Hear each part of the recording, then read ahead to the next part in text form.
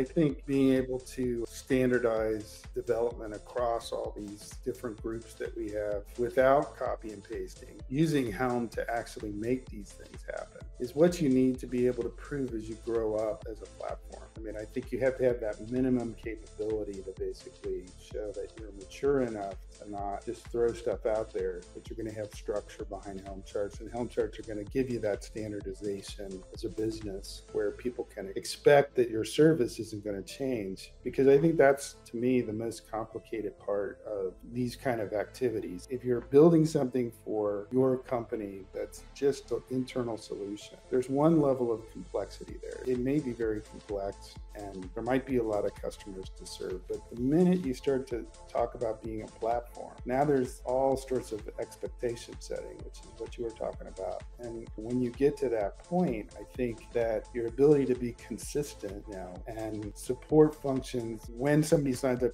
for your service in year one and they're with you in year five. I think the idea that you've improved things along the way, but they've been able to hold on to the value that they originally got from you